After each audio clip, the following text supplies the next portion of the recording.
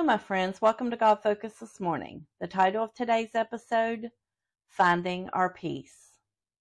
In an ever changing world full of noise, it gets even harder to find our peace. But God's beauty is all around us, and all it takes is a walk in the woods or by a lake to feel His presence.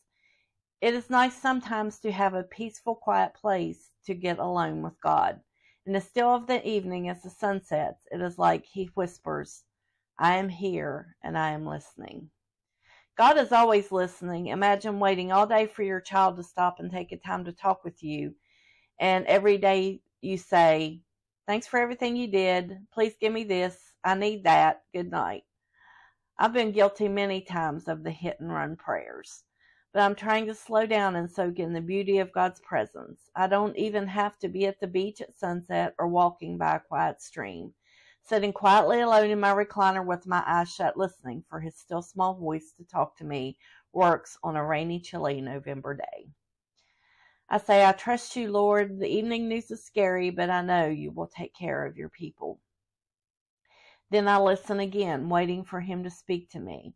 Although I do not hear an audible voice, he speaks to my heart, and I feel peace surround me. It is like a warm hug by a fire. Zephaniah 3 and 17. The Lord thy God in the midst of thee is mighty. He will save. He will rejoice over thee with joy. He will rest in his love. He will joy over thee with singing. This verse reminds us to find comfort in the presence of God. Thinking about a baby in its mother's arms, it sleeps in perfect peace. It doesn't care about the economy or rumors of war. It doesn't worry about its next meal or that it has a roof over its head. It just rests in the safety of its parents' arms. This is how we need to be, not allowing worry, fear, or anxiety to overtake us, but to rest in His presence and find peace in His arms. He will watch over us. We have to trust that He will take care of us. Think about what all God has done for His people over the years. He protected them from, from a great flood. He set them free from Egypt by destroying their enemy. He proved who he was on Mount Carmel when Elijah prayed fire down from heaven.